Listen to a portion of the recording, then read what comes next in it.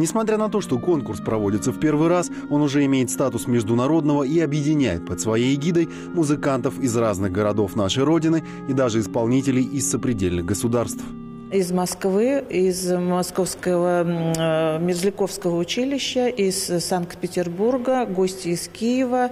Э, в общем-то, э, география такая обширная достаточно. Как известно, сила искусства сближает и объединяет людей, несмотря ни на какие противоречия. Маша Хилько живет в Киеве, о конкурсе узнала от своего педагога детской школы искусств. Магия этого инструмента и привела ее к нам в гости.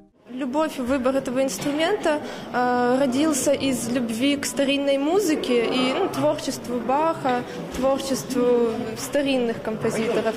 И чрезвычайно интересно, как э, ну, органная традиция старинной музыки преобразовывалась, э, в традициях ну, последующих музыкальных эпох. Орган по праву считается самым сложным музыкальным инструментом. Для игры на нем нужно использовать все тело, несколько клавиатур для рук, а также для ног.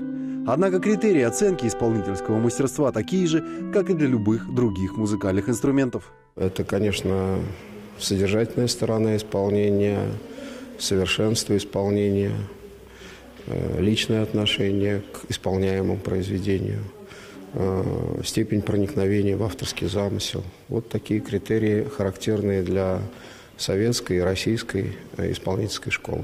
По словам Александра Фисейского, многие органные классы занимаются на электронных аналогах инструмента. Данный же конкурс дает юным исполнителям возможность испытать свои силы на настоящем, духовом. А общение с разделяющими твой интерес людьми бесценно. Следующий этап международного конкурса состоится здесь, в ДШИ, в субботу, начало в 5 часов. А по его окончании зрителей ждет гала-концерт финалистов конкурса. Илья Кремнев, Алексей Руднев, Видное ТВ.